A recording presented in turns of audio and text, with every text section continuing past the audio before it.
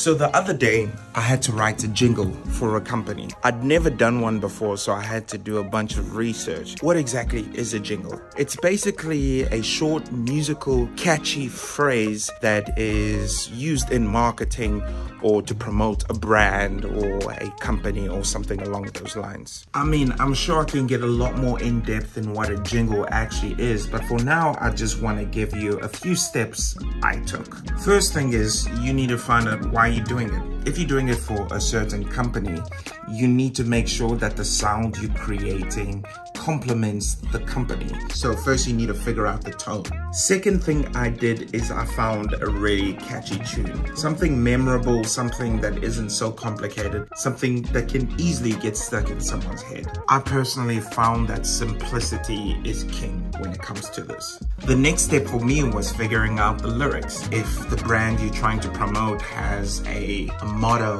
or some sort of catchphrase, it might be a clever thing to try and incorporate that. Next next thing I did was to simply record. The cool thing about this part is that you can experiment. Sometimes you can cut a little piece of the jingle in the front and put it toward the end.